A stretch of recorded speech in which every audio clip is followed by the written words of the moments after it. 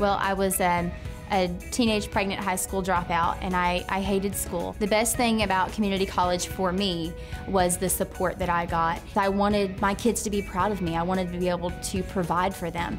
I'm super excited about my um, job offer for the Hamblen County School Systems because I love working with kids. Turning my education into my dream job, that's a big deal to me.